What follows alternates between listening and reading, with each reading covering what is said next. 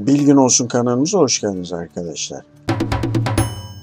Ben e, şöyle bir model indirdim. Bunun ne olduğunu da söyleyeyim hemen. Ceviz kıracağı. Yine Thingivers'tan indirdim e, bu modeli. Şöyle göstereyim. Thingivers'tan indirdim. Dosya olarak açtım. Ayrı ayrı parçalar olarak geliyor. Ben üçünü birden sahneye çağırdım. E, kontrolünü yapmadan baskısını yapmadığımı daha önce söylemiştim. E, her zamanki gibi ben baskı alanımı simgeleyen e, bir plane oluşturuyorum ve merkezde sıfırlıyorum. Sıfırladıktan sonra e, işte objeleri çağırdım. Baskısını yapacağım objeleri. Şimdi e, kontrol derken neyi kontrol edeceğim? Mesela şöyle yapayım. Bu sıkmak için kol kısmı. Bunun şuraya geçmesi lazım geçip geçmediğini kontrol edeceğim. Geçmiyorsa şayet ona göre büyüteceğim veya küçülteceğim. Artı bu vida kısmının burada çalışması lazım. Bunları kontrol edeceğim. Şimdi bunların üçünü de ayrı ayrı değil de bir kere de tek bir obje olarak görmesi için e, hepsini birbirine ben birleştiriyorum attach komutuyla. Şu an hepsi bunların tek bir obje görünüyor. Dilimlemesini yapayım. Hemen baskısı bitince görüşürüz. Evet şimdi baskıya başladık. Şimdi biraz önce e, ilk hareketten sonra kilitlenmişti makine. Sıkıntının ne olduğunu bilmiyorum. Bakalım ikinci denemede aynı şeyi yapacak mı?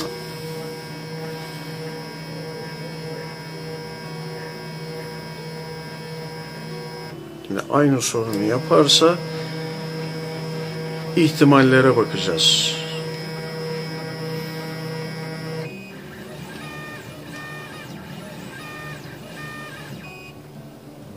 Evet yine aynı yerde kaldı.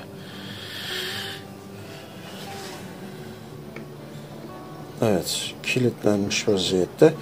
Şimdi birkaç tane seçenek birden var. Hani bu sıkıntıyla alakalı e, G kodu okuyamamıştır. Bu arada bunu ben e, durdurayım.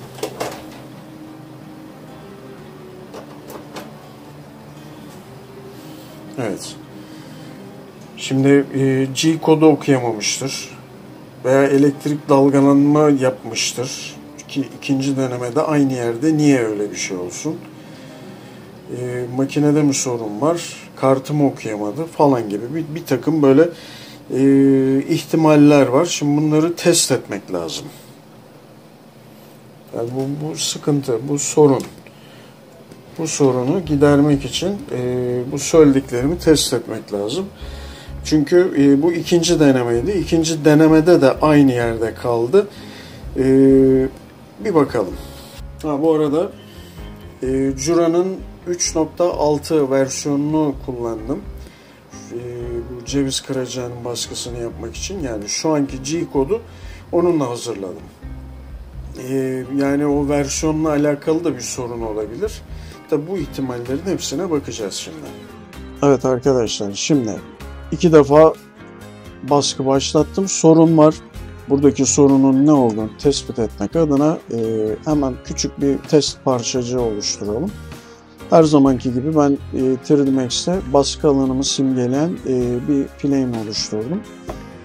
E, buraya böyle küçük bir box oluşturuyorum. Yüksekliğini 2 yapacağım. 2 Evet. Buralarda 3 olsa 30. Evet, buraları da 30 yapıyorum. 30'a 30 ve 2. Hemen değişik şekiller verebilmek için bunu e, poly'e çeviriyorum. Convert Editable poly yaptım. E, üstteki yüzeyi seçiyorum. Insert. Bunu bir buçuk yapmam sağlıklı olacak. Evet. Evet. Şimdi buradaki yüzeyleri seçeceğim.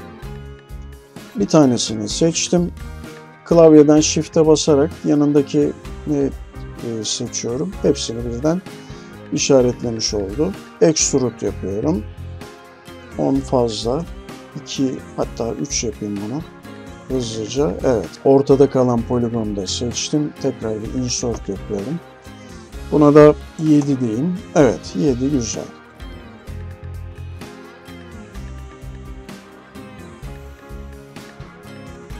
Hemen bunu da bir yükselteyim. Bu sefer Extrude'da değil de Bevel'da yükselteyim.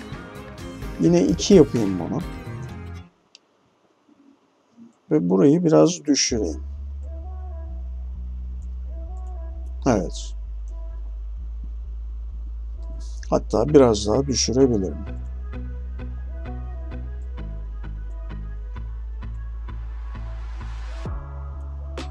Beş olsun. Evet. Şimdi bize e, fazla oyalamayacak e, baskısını yaparken faz, hızlıca bitmiş olacak. Bu arada e, yine aynı noktada e, makine kilitlenirse arızayı tespit etmek için başka çareler bakacağım.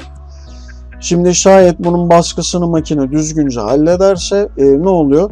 E, makinenin kart okuyamadığı, e, G-kodu okuyamadığı gibi seçenekleri elemiş oluyorum. E, geriye kalan işte modelin sıkıntılı olduğu. En son ona bakmış oluruz. Şimdi bunun baskısını yapalım, görüşürüz. Baskıya başlayıp yarım kalıyordu. Yani başlar başlamaz ilk turdan sonra bitiyordu. Şimdi bakalım aynı sıkıntıyı tekrar edecek mi?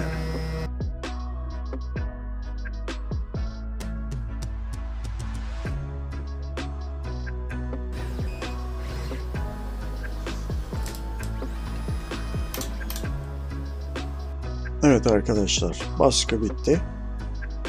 Bu baskıyı sorunsuz halletti. Şimdi e, şıkların, seçeneklerin e, birçoğu elenmiş oldu. Ne gibi mesela? E, bir tanesi işte Cura'nın e, 3.6 versiyonunun sorunlu olduğu. Bu ihtimal elenmiş oldu. E, kartı okuyamadığı, makinenin kartı okuyamadığı veya G kodu okuyamadığı bu seçenek de elenmiş oldu. Geriye kaldı e, tek bir seçenek o da ceviz kıracağı modelinin e, sorunlu olduğu. Şimdi bu modele bakacağım. Tekrar baskı yapacağım. Bunu başka bir videoda hallederim artık. Bu tür videoların devamı için videolarımızı beğenmeyi, kanalımıza abone olmayı unutmayın. Başka bir videoda görüşmek üzere. Şimdilik hoşçakalın.